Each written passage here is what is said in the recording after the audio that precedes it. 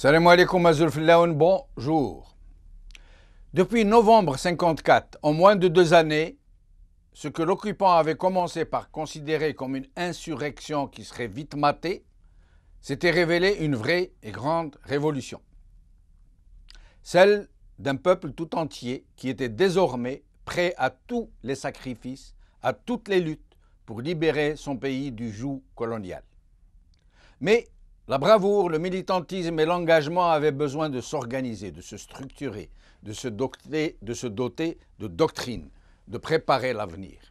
À plus forte raison que des rivalités pour des leaderships commençaient à empoisonner l'atmosphère, que le militaire prenait un ascendant sur le politique par la force et la contrainte. De la même manière qu'une poignée d'hommes avait initié la révolution de novembre 1954, un autre groupe allait lancer l'idée du congrès de la Soumam, un groupe euh, dans lequel figurent aussi des gens qui étaient dans le premier groupe. Abba Ramdan et l'Arbi Ben Mehdi en furent les principaux instigateurs, les instigateurs de ce congrès de la Soumam. Six autres leaders révolutionnaires les rejoignirent dans leur initiative. Omar Amran, Karim Belkacem, Zirout Youssef et Lakhdar Ben Tabbal. Durant les séances, des procès-verbaux étaient rédigés par Abba Ramdan qui était le secrétaire de séance. Selon ce que rapporta plus tard Youssef Ben Khedda, les congressistes rencontraient leurs adjoints respectifs entre les différentes sessions et les tenaient informés de la tenue des réunions et des conclusions qui ont découlé. En dehors des séances, les six membres présents se retrouvaient chacun avec d'autres membres de leur zone respective. Ali Kafi et Moussa Ben Ouda avec Ziroud et Ben Tobbal, Saïd Mohamed آية حمودة عميروش avec Karim, Dhélis Mohamed Bouguerra, Ali Millah avec Amran. Des, des, des, leaders attendus pour participer au congrès n'ont pas pu s'y rendre, à l'instar de Moustapha Boumboulé, tombé, tombé entre-temps au champ d'honneur sans que ses compagnons en aient été informés. On ait été informés. Mais d'autres, comme Bembella, dit-on, ça reste au conditionnel, refusèrent de s'y rendre, animés sans doute par des pulsions de leadership, et qui voyaient en cette initiative politique une menace, peut-être, pour leurs ambitions personnelles. Le congrès de la Soumam fut couronné par la charte de la Soumam, qui énonça la primauté du politique sur le militaire, qui découpa l'Algérie combattante en six wilayats et consacrait le FLN comme unique représentant du peuple algérien. D'autres résolutions, non moins importantes, ont été adoptés. Le congrès s'est tenu le 20 août 1956 dans la maison forestière d'Irbel à Ifri. Aujourd'hui, réflexion, congrès de la Soumam du 20 août 1956, émergence d'une nation. Le soir d'Algérie, congrès de la Soumam, commémoration de 158e anniversaire. Reporter des aides, congrès de la Soumam, 20 août 56, la révolution s'organise. Avec nous aujourd'hui, l'historien de la guerre de libération et de la décolonisation, Sadr Sillem. Merci, c'est Sadr, de nous avoir rejoints. Merci de m'avoir invité. Merci. Alors, comment et pourquoi Abba Ramdan et Ben Mehdi ont-ils décidé de tenir ce congrès et pourquoi l'ont-ils voulu aussi restreint? D'abord, euh, l'idée de, congrès, euh, elle a été décidée par les novembristes quand ils ont fixé la date du 1er novembre. Les 6 s'étaient promis de, se revoir trois mois après le 1er novembre pour faire le point. Ils appelaient ça le, congrès national. mais entre-temps, il y a eu. Boulaïd a été arrêté, les liaisons étaient très compliquées. Et au moment où, euh, le délai des trois mois euh, a expiré, le Congrès n'a pas pu se tenir, mais ça a coïncidé avec la libération d'un inconnu qui a bénéficié d'une remise de peine, qui était prisonnier depuis 1950 ou 51, c'est Abba Ramban. Et Abba Ramban a été libéré en janvier 1955 et il a, il a rejoint à la demande de Krim Qasim et de Ouamran euh, donc la, la, Révolution, et il a été euh, le collaborateur de Bitat donc jusqu'en mars 55, la date de l'arrestation de Bétat. Oui. oui. Or, à Baramban, il faut, on a besoin de, d'un éclairage particulier sur cette période-là, qui mérite euh, tout un livre. C'est de 55 à 57 à Alger. Alors, Abarvan n'était pas un novembriste, il n'était pas un chef de zone à l'époque. Le, FLN a divisé le territoire algérien en six zones qui sont devenues des wilayas après Dassoumam. Alors, lui, il n'était pas un chef de wilaya. Parce qu'il était en prison. Il a créé la zone autonome d'Alger. Oui pour être du niveau des chefs de wilaya. D'ailleurs, les responsables de la zone autonome ont le grade de colonel. On a été étonné de voir que euh, Yassou Sadi euh, a le grade de colonel. Pourquoi? Parce qu'on voulait que la zone autonome soit du même niveau que, que les, les, autres wilayas. Ah, d'accord. Oui. Ensuite, c'est euh, avant son arrestation, et après sa libération, qui a chargé euh, ses lieutenants de préparer le congrès national qui devait se tenir à, à selon une version, et dans une autre ville, dans une autre région des Aurès, où il y a, qui était protégée par des forêts. Donc c'est Bombouleïd qui devait tenir la, la, promesse euh, faite par les, euh, les novembristes vers le 23 octobre 1954. D'accord. Donc, euh, donc cette tenue de congrès, d'abord, elle était préparée dès le lancement de la Révolution. Ensuite, euh, en marchant, Ben après sa libération de la prison de Constantine, euh, ou son évasion, je ne sais plus, a donc commencé à préparer ce congrès, ah, soit à Sogal. D'ailleurs, ce n'est pas un hasard si les, les plus farouches anti-soumamistes qui se sont opposés euh, aux résolutions du Congrès se recrutent parmi ceux que Ben avait chargé de préparer le Congrès national, parmi lesquels euh, Abdelhaï. Abdelhaï qui a été exécuté en Tunis, on va essayer de voir pourquoi? Ah, d'accord. Et alors maintenant, il y a le, le problème de la participation euh, ou de, des absents. Alors, Bembella a dit à plusieurs reprises qu'il était venu à la tête de la délégation extérieure jusqu'à San Remo en Italie, mais que l'agent de liaison n'est pas venu pour les chercher. Il s'était prêt à venir discrètement prendre le risque de se faire coincer pour participer. Donc cette, euh, cette rumeur qui circule, cette hypothèse que Bembella aurait refusé de s'y rendre, euh, qu'il ne reconnaissait pas ce congrès, ça ne tient pas, ce n'est pas vrai. Il a voulu s'y rendre. Et... Non, il, n'avait aucune idée des résolutions. Il a, il a refusé de reconnaître les résolutions du Congrès quand il les a lues. Il a, son premier réflexe, c'est de dire cette plateforme ignore la dimension islamique de notre révolution. C'est écrit en toutes lettres dans les documents euh, récupérés par la DST quand il a été euh, arrêté en, en octobre 56. Nous, nous, allons y revenir tout à l'heure. Avant, il voulait participer. Oui. Et moi, j'ai le texte de la contribution de la délégation extérieure à la charte, à ce qui deviendra la charte de la Soumam. C'est un texte, euh, euh, enfin les gens qui connaissent les écritures en croient reconnaître l'écriture d'Aït Ahmed. C'est une contribution très précise de la délégation du Caire pour la rédaction de la plateforme finale. Mais euh, on, est alerté par un détail, mais qui a son importance quand on voit les rivalités qu'il y a. Euh, on a la lettre de Abaramdan à Krim Oui. Il lui envoie une copie de ce texte. Il lui a dit Mais je me suis permis de retirer le passage concernant la proclamation d'un gouvernement algérien en exil. Euh, qui, a dit, qui a dit ça? C'est Abaramdan qui a dit à qui? Abaramdan qui le retire. Alors pourquoi il a, il a retiré ça? Parce qu'il était contre cette idée. Parce qu'il était sûr que s'il y avait un gouvernement proclamé au Caire, il n'en aurait pas fait partie.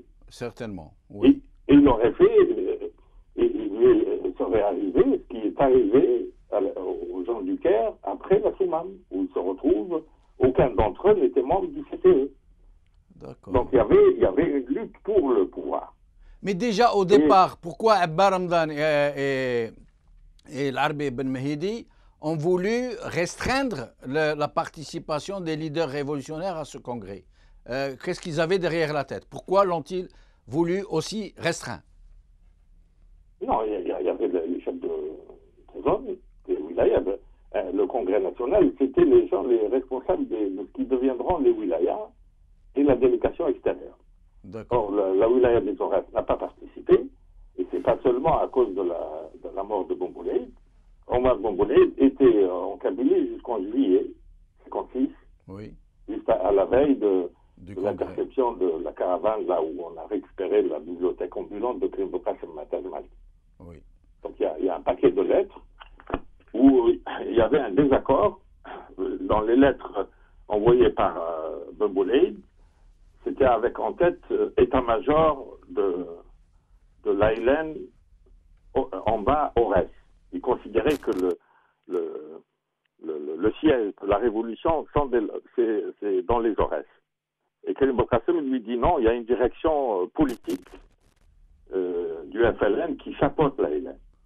Et ça, c'est à l'origine d'un grand conflit. Dans les Aurès, c'est résumé par. Euh, c'est pas une anecdote, vous avez les combattants des Aurès qui disaient le Maramat Oui, oui. Parce que le Jabha, c'est féminin, là. Ah. Ou, le Jish, c'est masculin. Exact. Ils ne voulaient pas. Et dans, les, les, les textes de la Révolution, vous avez le FLN, vous avez un trait, et l'ALN en bas. Les types des oreilles n'acceptaient pas. C'est l'ALN qui avait pour eux la primauté. Et l'idée de la primauté du politique sur le militaire était euh, farouchement refusée par les oreilles. C'est la raison pour laquelle Omar Bomboulet, qui était accompagné de des gens qui avaient disparu, Nouichir, Barhaïl, Azoui, les deux Azoui, Medour et Ahmed, etc. Et il a refusé de participer quand il a quand Karim lui a donné l'avant-goût de ce qui allait être euh, euh, décidé. Mais on dit que Omar Ben euh, aurait caché la mort de Mustafa Ben aux participants au congrès de la Soumam. On dit qu'il ne savait pas au moment de la tenue du congrès que Mustafa Ben était mort. Ben, il pensait qu'il n'avait pas pu. Il ne pouvait pas la cacher à tout le monde puisque Zéro Youssef a été informé en temps réel. Mais peut-être que Zérodius ne l'a pas dit. De, de, de lui ont écrit à Zéroud euh, immédiatement après sa mort, il l'a su. Ah, d'accord. Alors, mais, mais euh, on, voulait cacher la, mort d'un chef pour ne pas démoraliser les troupes. Tout ça, c'était euh, courant. Alors, question cardinale. Qu'est-ce que le congrès de la Soumam a apporté de vraiment important de, qu'on pourrait qualifier de tournant dans la Révolution, comme ce point euh, qu'évoquent souvent des gens, euh, disons des progressistes, qui sont opposés au caractère islamique de la République, qui disent le congrès de la Soumam a consacré le caractère laïque de la Révolution et donc de la République qui est censée euh, lui succéder. Est-ce que, est-ce que c'est, c'est, réellement, ce problème s'est réellement posé? Est-ce qu'il existe? Oui, euh, il faut se mettre dans l'atmosphère de l'année 56. cet aspect euh, vis-à-vis des combattants algériens n'était pas le, plus saillant. C'est vrai que pour une catégorie d'intellectuels de gauche, laïcs, etc., la plateforme de la que la Soumam a, eu un effet rassurant, elle les a confortés dans leur choix, parce que beaucoup hésitaient entre le Je ne cite pas des noms. Euh, mais l'année 1956 a commencé par les élections qui ont conduit à la victoire du Front républicain avec Guy Mollet comme président du Conseil. Ces élections ont eu lieu euh, sous le leitmotiv de la paix en Algérie. Oui tout le monde croyait que Mollet allait régler l'affaire algérienne par des négociations. Et d'où la, recherche éperdue de ce qu'on appelait l'interlocuteur valable. C'était une formule qui revenait tous les jours sous la plume des éditorialistes. Mollet ne peut pas négocier avec les fanatiques qui parlent de djihad, qui sont dans les oreilles, ce volcan qui, qui embrase toute l'Algérie, etc il négocierait avec des interlocuteurs valables, c'est-à-dire euh, qui sachent se tenir à table, qui n'ont pas le couteau entre les dents, qu'il soit pour la francophonie etc. Et c'est cette querelle de l'interlocuteur valable qui a été à l'origine de la rivalité entre la délégation du Caire et, euh, et le Abalamban. recevait les émissaires de, de Bimolet et de Mendes France. Euh, très régulièrement, Bahadam était embarrassé par cette question, mais il confirmait. Et, il a reçu Fares, il a reçu Steve, il a reçu Maître Verdi, qui était l'avocat proche de Mendes. Mais dans le même temps, Guy envoyait des émissaires au Caire qui ont rencontré Ben Pliwan, l'homme de Barine, Begara et le, comment, le secrétaire général de la SFIO. Il y avait une véritable volonté de régler l'affaire par des négociations. pour être un interlocuteur valable, il, fallait euh, expurger la charte de tout ce qui pouvait déplaire euh, à la partie française. D'où euh, cette portion congrue de, réservée à l'islam dans cette plateforme. Et vous avez nos éradicateurs des années 90 qui répètent qu'ils préfèrent la charte de la Soumam à la déclaration du 1er novembre, parce que celle-ci parle explicitement d'une république algérienne démocratique et sociale conforme aux principes de l'islam. Mais, mais, la, rédaction, la rédaction a été dictée par cette course éperdue pour le statut d'interlocuteur valable. Et c'est un secret de polychinelle euh, que de dire que Hamdan voulait être cet Mais, donc, euh, donc euh, en fait, ce, ce, tournant idéologique, si on peut le dire ainsi, à un moment où la révolution, les combattants étaient appelés Moudjahidines, à un moment où ceux qui tombaient au champ d'honneur étaient appelés shuhada, euh, où le cri de guerre de la révolution était Allahu Akbar.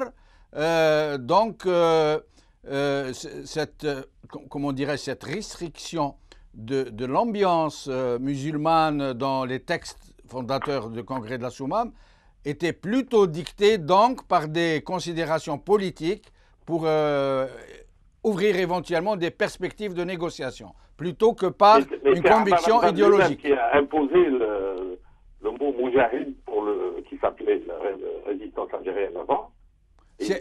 on voulait l'appeler le combattant, il a dit ça ne parle pas aux combattants. Le djihad, ça leur parle plus. Donc la plateforme de la Soumam était destinée à la consommation extérieure. Attendez, attendez, Sadr c'est très très important ce que vous nous dites là c'est Abban Ramdan qui aurait imposé. selon le qui était très proche de lui. Le vocable de Moujahid euh, aux combattants de la révolution algérienne. Et, euh, euh, certains voulaient changer le nom de la résistance algérienne pour l'appeler le combattant. Oui. oui. Et ben, c'est Abban Ramdan qui a dit non, le combattant c'est terne, ça ne parle pas à nos, à, nos troupes, il faut l'appeler le Moujahid. C'est dans le livre de Mohamed Lebjaoui, le chef de la Fédération de France, oui. qui a participé à la rédaction de la plateforme, c'est lui qui, qui révèle ça. Donc, euh, c'était un très grand organisateur, c'était une tête politique, c'est sûr, mais il voulait être le premier. Donc, pour le, le moral des troupes, il a choisi euh, un intitulé puisé dans le répertoire religieux, le mot mais pour être l'interlocuteur valable, il a choisi cette orientation un peu laïcisante euh, de la plateforme de la Soumane, mais qui par ailleurs avait un avantage, c'est que pour les, combattants qui étaient là, qui improvisaient, qui avaient un empirisme en fonction d'une sorte d'autogestion et de décentralisation de, la guerre, la plateforme de la Soumane a joué un rôle euh, très important dans la mesure où ils avaient une référence. À chaque fois qu'il y avait un désaccord, ils relisaient la plateforme. Et ça permettait de trancher. Donc c'est un, des grands aspects positifs. Euh, alors, et justement, justement, après le congrès de la Soumam, que s'est-il passé? Euh, Quel a été l'effet? Quel a été le, le, résultat direct sur les événements de ce congrès? Que s'est-il passé? Eh ben, le, congrès n'a pas été reconnu par la délégation extérieure, par Bambella, oui.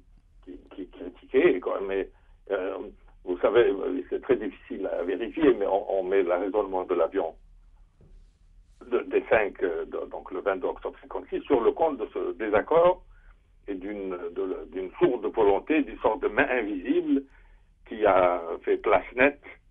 Euh, les adversaires ne se retrouvent en prison pour qu'il reste l'interlocuteur valable. Ça, ça, veut dire qu'on s'est débarrassé d'eux de façon indirecte, ils gênaient le processus s'est arrangé pour qu'il disparaisse de la scène politique. Oui, on met en cause même Moulay Hassan, le prince héritier marocain. C'est une thèse qui, a été développée, mais euh, l'historien ne peut pas retenir cette thèse euh, sans, discernement. Sans arguments euh, qui, viennent étayer la, thèse. Il y, avait, il y avait un peu de ça, ce qui confirmera un peu cette, thèse-là, c'est ce qui se passera en, Tunisie, oui. où, où, était un parfait inconnu pour, pour Bourguiba. Oui.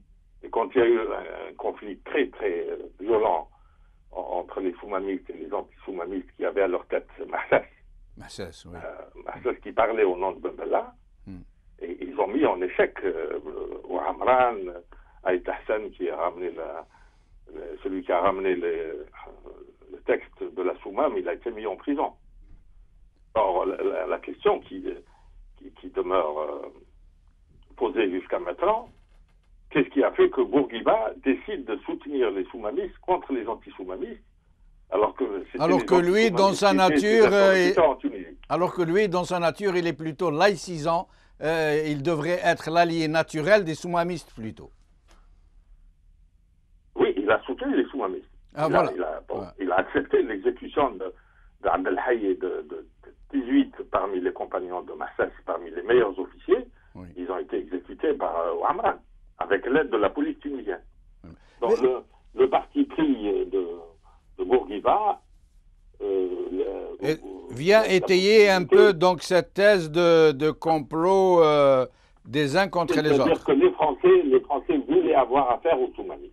Voilà, plutôt. Des, ils, venaient de donner des gages de, de laïcisme, de, francophonie. ils n'insistaient pas beaucoup sur l'unité arabe, ni même sur l'unité maghrébine, alors que le texte du Caire que j'ai insiste beaucoup sur l'unité maghrébine. Et al s'est accroché avec Nasser quand il est parti au Caire et il lui a dit nous, ne croyons pas à l'unité arabe.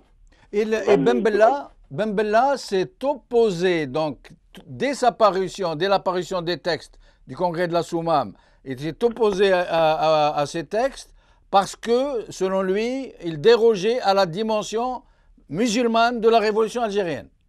C'est dit en toute là, il dit ce texte euh, néglige la dimension islamique de notre évolution. C'est dans les, archives euh, récupérées par la DST euh, dans, sa serviette là, le 22 octobre. Et, il a été suivi par tous les gens de l'extérieur quasiment. Ah, tout l'extérieur était, contre. Oui. Mais une fois en prison, là, pour, pour l'apaisement, ils ont, ils ont décidé de la soutenir. Mais il faut voir les lettres qui même entre Boudiaf et Abaramzan, le, le ton qu'adopte Abaramzan est inadmissible. Par des euh, quelqu'un qui vient euh, leur donner des ordres comme chef, alors que c'est eux les novembristes, alors que lui était inconnu au bataillon, il, y avait, il y avait une tension. Il y a une lettre de, de Boudiaf sur la Fédération de France, à partir de Nador, lui, il, passait par l'Espagne, Abaramzan lui a dit, vous, vous ne mêlez pas de ça, c'est vous qui qui dirigeant la Fédération de France à partir d'Alger. Euh, sur un temps très péremptoire, impératif. Et, euh, après, à chaque fois que quelqu'un est en désaccord, il lui dit euh, il mérite 12 balles dans la peau, comme il l'a dit au sujet de Massas. On prête. L'opposition à partir de la Tunisie et de la base de l'Est, de Soukaras, était très très forte. Et on peut supposer que le passage du secrétaire d'État aux Affaires étrangères dans le gouvernement Guy Mollet en janvier 57, qui s'appelait euh, Maurice Faure, euh, a été à l'origine du parti pris de Bourguiba pour les soumamistes, euh, parce que notamment Mendes France, Mendes France qui avait négocié avec Bourguiba en 54 pour la Tunisie, l'autonomie interne, on peut supposer que lui et Kimolé voulaient faire d'Abaramdan une sorte de Bourguiba algérien. Euh, euh, le, plus valable parmi les interlocuteurs parce qu'il est très instruit en français. Euh, peu intéressé par les, regroupements régionaux comme l'unité maghrébine et surtout par l'unité arabe. francophone, donnant des gages pour la suite des relations avec la France. Mais on, a, on, a, un texte euh, que je publierai euh, bientôt où euh, qui a proclamé la primauté du politique sur le militaire. Mais on lui prête, on lui prête une humeur très autoritaire, presque cassante. il était, pour le moins qu'on puisse dire, assez despotique, j'allais dire, hein, Oui, oui, mais il se permettait de, euh, Qassim d'Asseldoun. Oui. Ah, Youl et Asseldoun. Asseldoun, ça veut dire le mulet, en Kabylie. Oui, oui, oui. Il était Devant les autres très...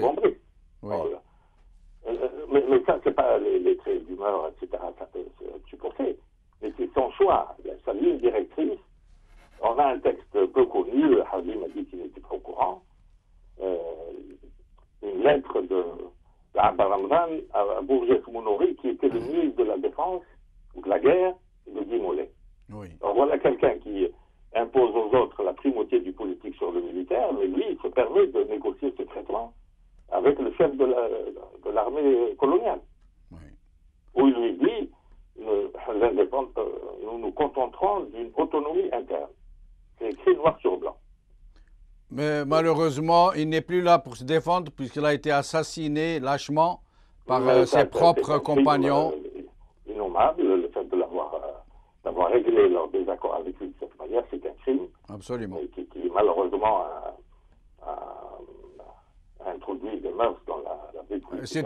C'était l'acte. supposer que le congrès de la Soumane, ça a été le premier coup de force de l'histoire politique algérienne.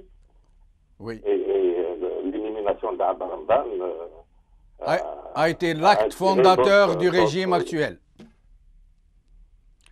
beaucoup de gens considèrent l'assassinat de Abba Ramdan comme étant l'acte fondateur du régime qui nous dirige aujourd'hui. Euh, il nous reste à, peine une minute. Euh, si vous pouviez nous dire pourquoi ce régime actuel refuse presque obstinément de commémorer cet événement qu'a été le congrès de la Souma. Ben, je n'ai pas de réponse spontanée, mais, mais c'est pas le seul, euh, pas le seul oubli du pouvoir actuel. Le pouvoir actuel, il y a d'autres préoccupations. Les, les, ministres euh, sont intéressés par l'affairisme, le côté affairiste des célébrations. Et quand ça ne rapporte pas beaucoup, euh, euh, ils, décident de s'en passer, je suppose. Hein. Merci beaucoup, Sadr Sellam. Merci de nous avoir éclairés en espérant vous revoir bientôt dans nos émissions. Merci. Cette émission est terminée. Salam alaikum, Azul,